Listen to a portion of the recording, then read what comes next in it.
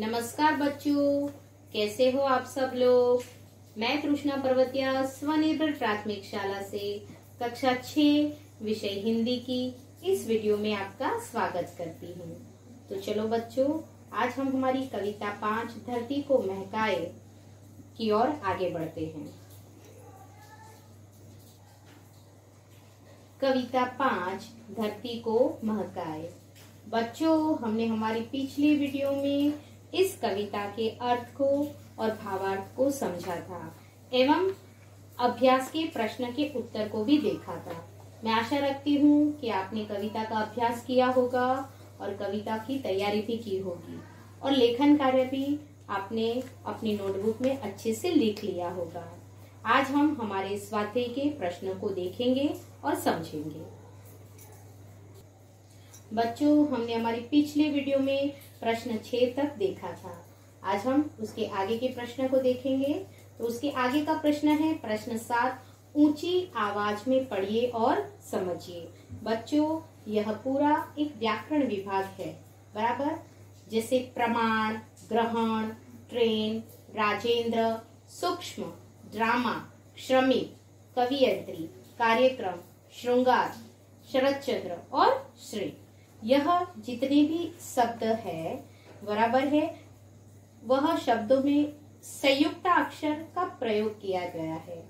तो यह जो संयुक्त अक्षर के प्रश्न है, यह हम हमारे व्याकरण विभाग में देखेंगे। तो यहाँ अभी केवल आपको यह प्रश्न यह शब्द को पढ़ना है और अपनी नोटबुक में लिखना है।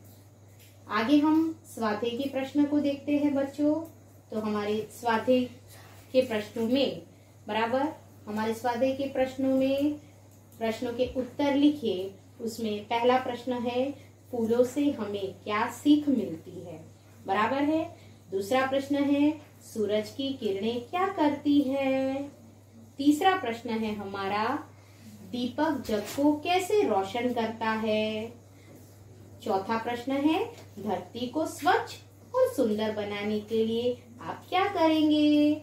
और पांचवा प्रश्न है जग में नाम कमाने के लिए हमें क्या करना चाहिए? तो चलो बच्चों, इस प्रश्न को हम देखते हैं कि किस तरह से यह प्रश्न हम लिख सकते हैं। चलो बच्चों, हम हमारे पहले प्रश्न को समझते हैं। फूलों से हमें क्या सीख मिलती है? बच्चों, फूलों से हमें क्या सीख मिलती है? तो फूल हमेशा खुश रहते हैं। आंधी और वर्षा को वे हँसते हँसते सहन कर लेते हैं। उनसे हमें यह सीख मिलती है कि हम, हमें प्रत्येक स्थिति में हम खुश रहे। कठिन से कठिन परिस्थितियों को हम हँसते हँसते सहन कर ले। बराबर है? उसके बाद हमारा दूसरा प्रश्न है, सूरज की किरणें क्या करती है? बराबर? तो सूरज की किरणें अंधकार को दूर भगाकर सारे संसार को प्रकाशित करती है। हमारा प्रश्न का उत्तर इस प्रकार बनेगा। इसके बाद हमारा तीसरा प्रश्न है, बच्चों, दीपक जग को कैसे रोशन करता है? तो दीपक अपने हृदय को, यानी अंतर को जला जला कर जग को रोशन करता है। बराबर है बच्चों, आप इस तरह से इस प्रश्न का उत्तर लिख सकते हो। उसके बाद हमारा चौथा प्रश्न है, धरती को स्वच्छ और सुंदर बनाने के लिए आप क्या करेंगे? बच्चों, यह प्रश्न यह प्रश्न के उत्तर में आप अपने तरीके भी लिख सकते हो। तो धरती को स्वच्छ बनाने के लिए हम कूड़े कचरे को इधर उधर न डालकर कूड़ेदान में डालेंगे।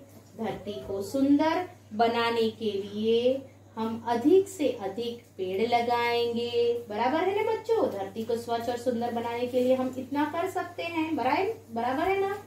तो अधिक से अधिक पेड़ लगाएँगे। हम बाग और फुलवारियाँ लगाने की प्रवृत्ति में सहयोग देंगे। तो धरती को स्वच्छ और सुंदर बनाने के लिए हम इस प्रकार के कार्य कर सकते हैं। आगे देखते हैं हमारा प्रश्न। प्रश्न पाँच है, जग में नाम कमाने के लिए हमें क्या करना चाहिए? जग में नाम कमाने के लिए हमें क्या करना चाहिए बच्चों? अच्छे और सच्चे काम करने चाहिए ना? तो हमारा प्रश्न का उत्तर इस प्रकार बनेगा। जग में नाम कमाने के लिए हमें अच्छे और सच्चे काम करने चाहिए। बराबर? यह हमारे स्वाध्याय के पाँच प्रश्न हुए। एक और प्रश्न मैंने लिखा है। बराबर? जो आपको आपकी परीक्षा में पूछ सकते हैं इस प्रकार का प्रश्न। जैसे फूल, सूरज और दीपक से हमें क्या सीख मिलती है? फूल हमेशा मुस्कुराते रहते हैं। सूरज अंधेरा दूर करके हमें क्या देते हैं बच्चों? प्रकाश देता है। दीपक स्वयं जलकर जग को रोशन करता है। इन तीनों से यह सीख मिलती है कि हमें प्रत्येक परिस्थिति में खुश रहकर अपना काम करना चाहिए। ईमानदारी से किए गए हमारे अच्छे काम ही दुनिया को सुखी और सुंदर बनाएँगे। बराबर है ना बच्चों? इस तरह से आप प्रश्न का उत्तर लिख सकते हो। अब इसके बाद हम आगे के प्रश्न को देखते हैं। बच्चों, हमारा प्रश्न दो है आपकी कल्पना में। बराबर? आपकी आपकी कल्पना में यानी? यहाँ एक दिया गया है जैसे, जब आप किसी वस्तु का नाम लेते हैं तो उसकी तस्वीर आपके सामने आ जाती है। बराबर है? तो जरा सोचो तो उससे संबंधित और चित्र भी मस्तिष्क में उभरने लगते हैं। बराबर? जैसे, उदाहरण के तौर पर, घेरे के भीतर फूल शब्द का नाम लेते ही जैसे कि हमारे सामने किसी ने फूल शब्द रखा, बराबर? जैसे हमारे सामने किसी ने फूल शब्द रखा, बराबर बच्चों? तो फूल शब्द का नाम लेते ही हमारे मस्तिष्क में, बराबर?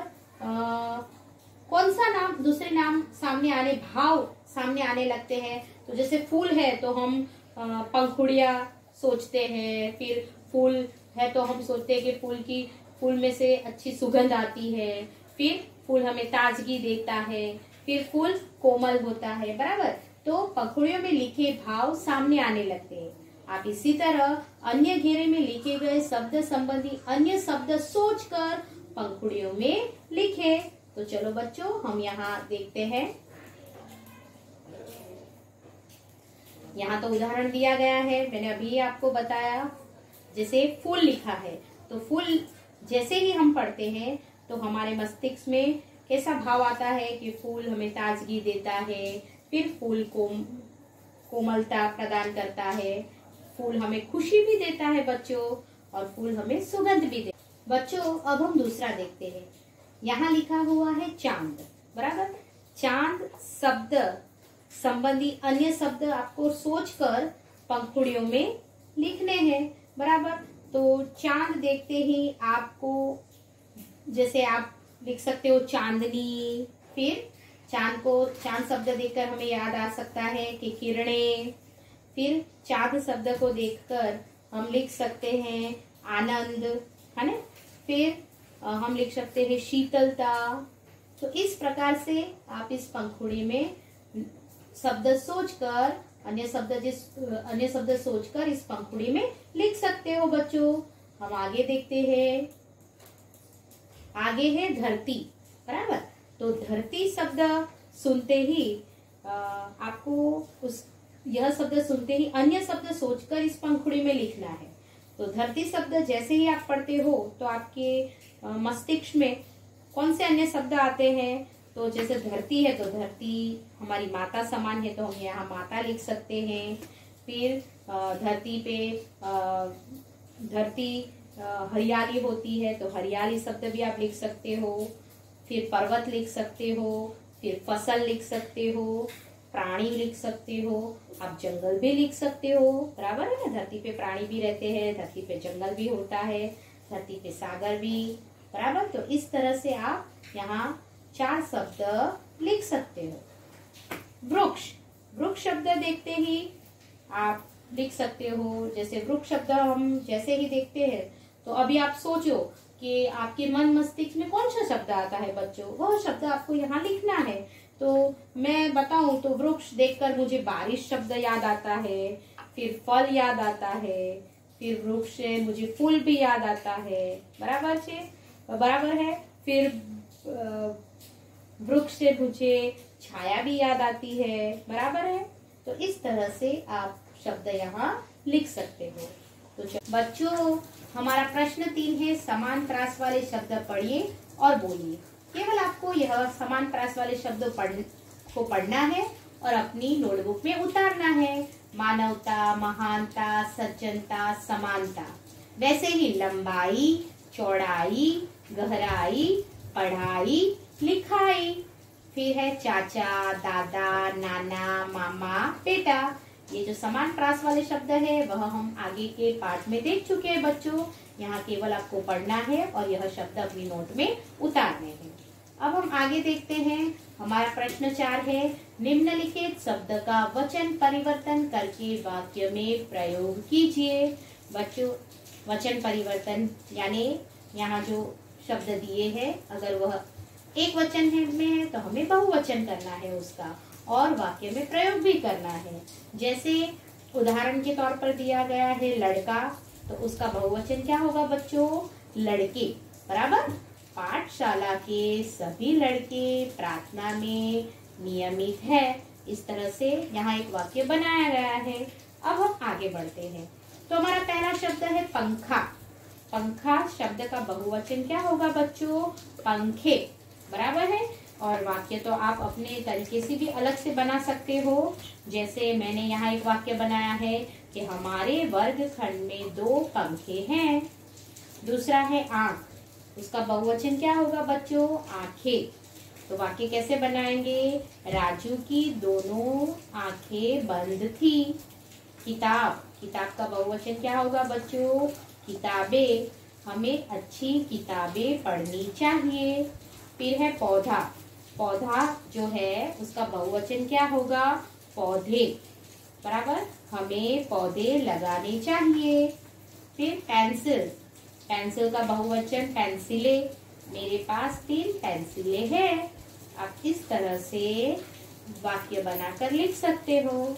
बच्चों, हमारा इसके बाद का पांचवा जो प्रश्न है, वह है काव्य पंक्तियों को पढ़कर उनका भावार्थ लिखिए। कविता का भावार्थ मैंने आगे ही आपको समझाया था और कविता का भावार्थ यानी अर्थ मैंने आपको लिखवाया भी था। लेकिन फिर एक बार यहाँ हम देख लेते हैं, हमारी कविता की जो पंक्ति है, उसमें दीपक को देखो कैसे यह हरदम जलता रहता है। अपना अंतर जला जला कर रोशन जग को करता है। इस कविता का भावार्थ क्या बनेगा बच्चों? तो दीपक को देखो, वह हरदम कैसे जलता रहता है। वह अपना अंतर, यानी हृदय, जला जला कर जलाता है, लेकिन दुनिया को उजाला देता है। फिर है, आओ हम भी इंसान बनकर जग में अपना नाम कमाए, अच्छे सच्चे काम करे और सारी धरती को महकाए। इसका भावार्थ क्या होगा बच्चों? कि आओ हम भी इंसान बने और संसार में अपना नाम, संसार में अपना नाम कमाए, नाम रोशन करे। अपना यश फैलाए, हम अच्छे सच्चे काम करें। हमारे अच्छे कामों से यह धरती सुंदर एवं सुगंधित बन जाएगी। बच्चों, इस काव्य पंक्ति का भावार्थ हमने शुरुआत में ही लिख दिया था। इस वजह से यहाँ आप इस काव्य पंक्ति का भावार्थ आप वहाँ से भी देखकर लिख सकते हो। अब हम आगे बढ़ते हैं। जो इसके बाद इतना जानिए मैं यहाँ आप जो चित्र देख रहे हैं बराबर दिए गए संकेतों के संबंध में जानकारी प्राप्त कीजिए। तो पहला चित्र है उस, उसके नीचे पाठशाला लिखा गया है। दूसरा चित्र है उसके नीचे चिकित्सा सेवा लिखा है। तीसरा जो चित्र है, उसके नीचे पेट्रोल पंप लिखा गया है और चौथा जो चित्र है, उसके नीचे सार्वजनिक टेलीफोन लिखा गया है। बच्चों, आपको यह चित्र क्या सूचित करता है, वह बताना है। तो पहला चित्र देखने के साथ ही हमें सूचित होता है कि जब हम वाहन के द्वारा या गाड़ी के द्वारा कहीं जाते हैं रास्ते पर से तो हमें ज़्यादातर ऐसे चित्र देखने मिलते हैं। तो यह चिन्ह से सूचित होता है कि स्कूल निकट में ही है। इसलिए वाहन सावधानी से चलाएँगे। बराबर?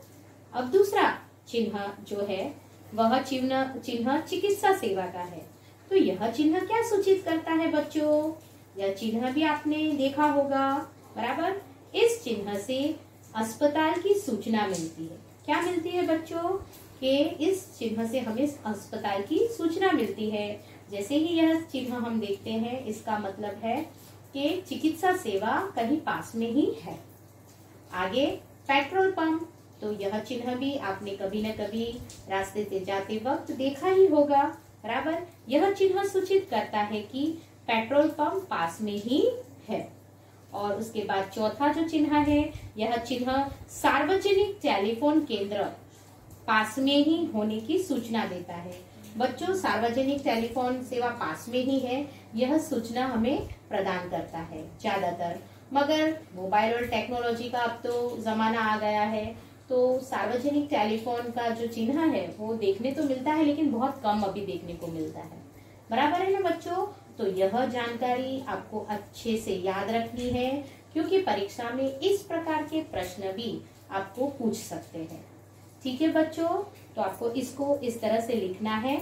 आपको अपनी नोटबुक में यह चित्र बराबर अच्छे से कट करके किताब में से नहीं, लेकिन आपको यह चित्र की प्रिंट निकाल कर फिर यह चित्र आपकी नोटबुक नोटबुक में लगाइए और उसके सामने मैंने जो आपको यहाँ जानकारी दी, वह उसके सामने आपको लिखना है।